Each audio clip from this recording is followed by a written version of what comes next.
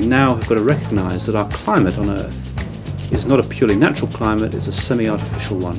A sight familiar through television and cinema, but here twisting over Staffordshire. Push the door open, if I can. These are real events. They're getting worse and we need to get ready for them. This is the view through the front window. This species of jellyfish likes warm tropical waters and so is virtually unheard of off the northeast coast.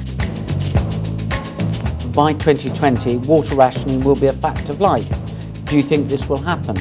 Well, 62% of people think that it will.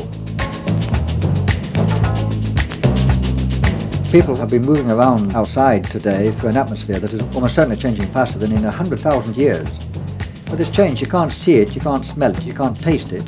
So it's very easy to tune it out and to suppose it's not there. It is a 300 foot drop off the cliff.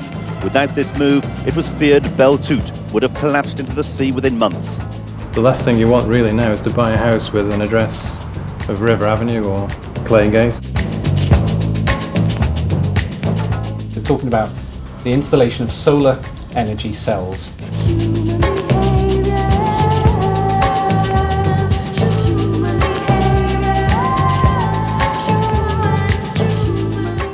Days, Kate Clark has had to rely on her well for any water after supplies were cut off because Mid-Kent Water couldn't cope with excessive demands. The Water Board have told us nothing. If we're going to maintain a sense of humour about this and an optimism, we can't constantly be berated with sort of miserable stuff.